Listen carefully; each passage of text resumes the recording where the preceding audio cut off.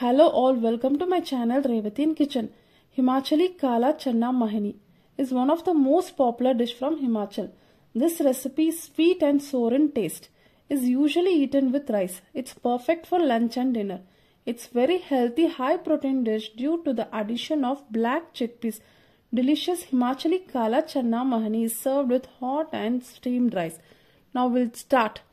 Soak 1 cup of kala chana over the night and the other ingredients are quarter teaspoon of hing, 1 tablespoon of gram flour, 1 tablespoon of whole wheat flour, 2 teaspoon of red chili powder, 1 teaspoon turmeric powder, 1 teaspoon coriander powder, 4 to 5 dry mango powder that is amchur and 4 to 5 tablespoon teaspoons of jaggery, 2 tomatoes, 3 green chilies and a small pinch of ginger and 1 cup of soaked kala chana.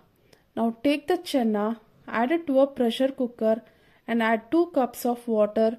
Cook it for around 4 to 5 whistles and keep it aside. Now heat a pan, add 2 tablespoons of mustard oil. When the oil is hot, add hing, red chilies, ginger and saute them well for around 1 minute. Now we'll add whole wheat flour, besan, besan flour.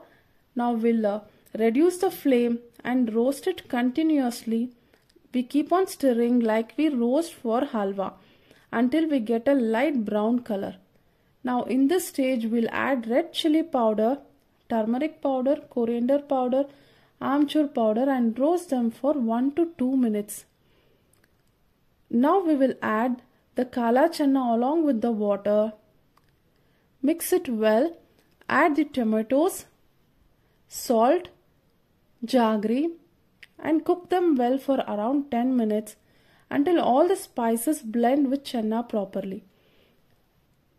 Tasty and delicious kala chana mahani is ready. Friends, please try this recipe and comment me in the comment section. Thank you all for watching this video.